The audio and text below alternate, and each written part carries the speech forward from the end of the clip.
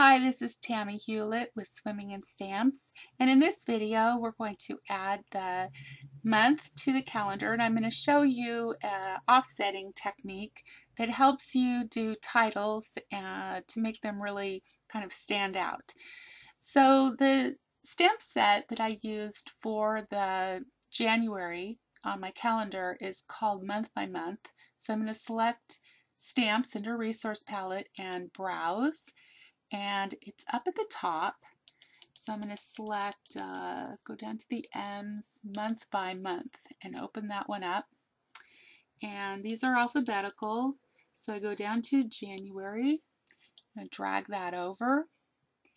And it's a little too big, so I'm going to size it down a tiny bit. About like that. And I am going to color it first with Wisteria Wonder to match my background. So I'm to, I clicked change color over here in the design center and then I'm going to hover over my color and it's going to tell me this is Wisteria Wonder before I click it. So then I'll hit OK.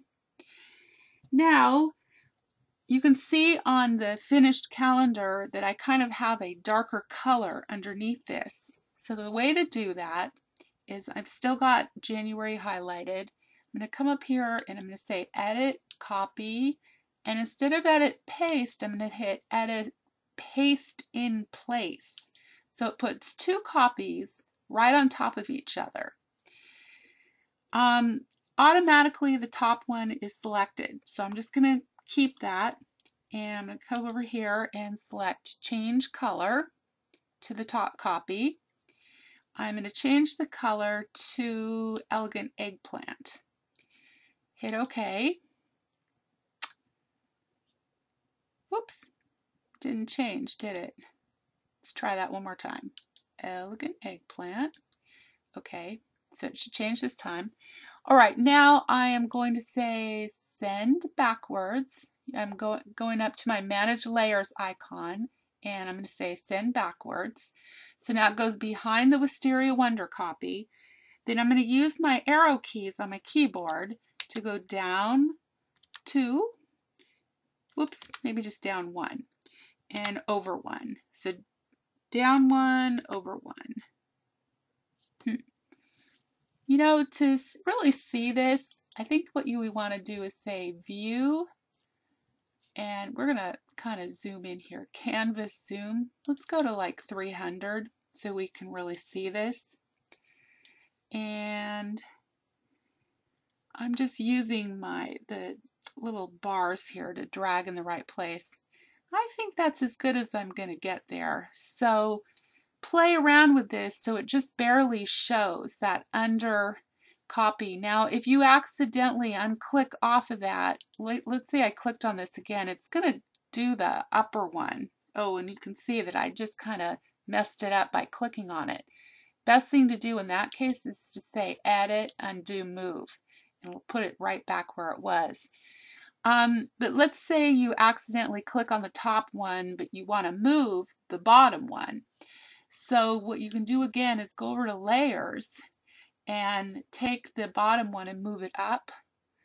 And then you can click on that one again so that you're clicked and that way when you're moving your arrows that's the one that's moving. Once you've got it selected put it behind the Wisteria Wonder one again until you've got it just right. Then hold down your shift key and select the one on top and you can see that I have two sets of gray squares here. Let me do that again. I'm going to click off. I'm going to put the darker one on top. Click on that. Then I'm going to come over to the layers, drag it underneath. While I have the shift key pushed down, I click on the top one. I get two sets of squares. Then I'm going to say arrange group. What that does is it puts those two stamps together. So now I can move this and they're not going to get unaligned. So that's a really good thing to do. The, the next thing I'm going to do too is put it behind this little ribbon layer because I the ribbon is stapled on the tag, so obviously I don't want the January to be uh, stamped on top of the ribbon, so that orders it properly. Now the zoom tool also helps to really get your fine detailing done. I can also see, I'm going to use my keyboard to kind of put my January up a little bit so that it's a little centered. Okay, and when you're done, just hit View, Canvas, Zoom, back to 125, which is the normal, and there we go. We've got the whole January. So that's most of the calendar. I'm going to come back and show you how to add the two snows. That is some advanced cropping. If you're a beginner, you might want to skip that for now because uh, I don't want you to get frustrated. But for advanced digital designers, that's a I'm going to teach you a really neat way to do some cropping of odd shapes, things that you can't just grab with a square. So I'll see you in the next video.